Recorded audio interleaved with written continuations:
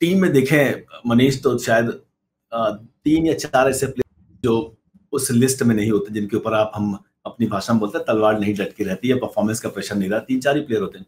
बाकी सब पे रहता है। और केस भरत तो काफ़ी, क्योंकि पीछे जो लाइन देख रहे हैं, वो लंबी है यहाँ पर। ऋषभ पंत की आपने नाम दिया कि ऋषभ पंत आएँगे, पर अभी के बाद फिटनेस भी टेस्ट होगा। फिटनेस के बाद डोमेस्टिक सर्किट में थोड़ा मैच खेलेंगे। उसके बाद भारतीय टीम घर चलेंगे। वो लॉन्ग स्टोरी है।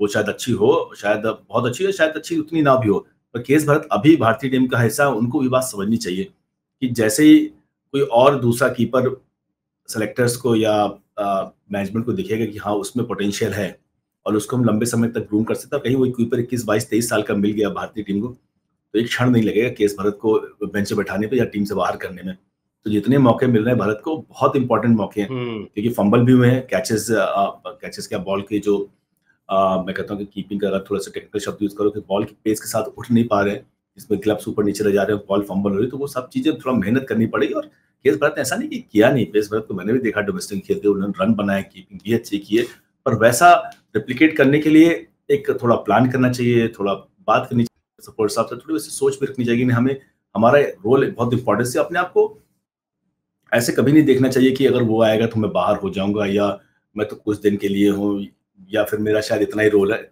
आपका रोल बहुत बड़ा है।